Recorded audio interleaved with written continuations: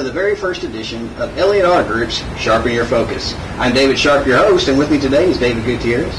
David's a 20 plus year veteran of the car business, and he's also the credit acceptance manager here at Elliott Auto Group.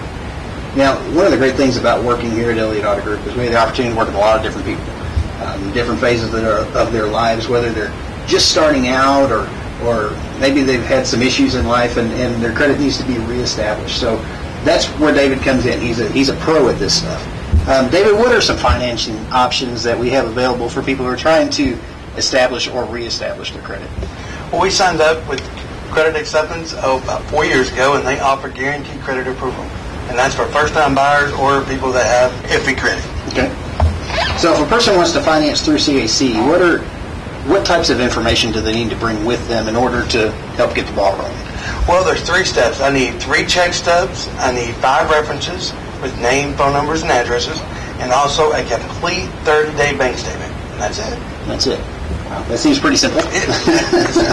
How long does the process of getting approved through CAC typically take? Well, typically what I do is I normally fax over the check stub so that way the bank can approve the income 15, 20 minutes. That's amazing. You know, another question we often hear is, how long can I finance my vehicle? Everybody wants to have the lowest payment possible, sure. Um, what are the parameters with um, credit acceptance as far as length of loan?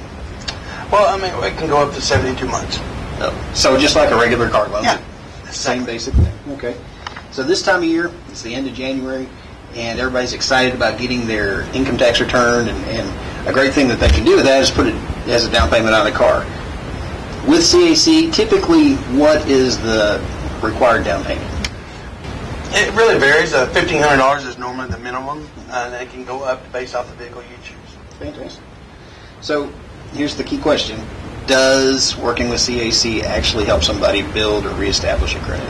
Yes, uh, they report to all three credit reports, therefore it's going to give you some established car credit. Fantastic.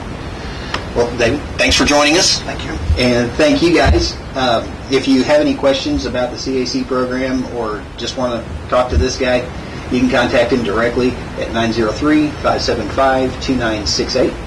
And again, we appreciate you joining us on this edition of Sharpen Your Focus, and we'll see you next time.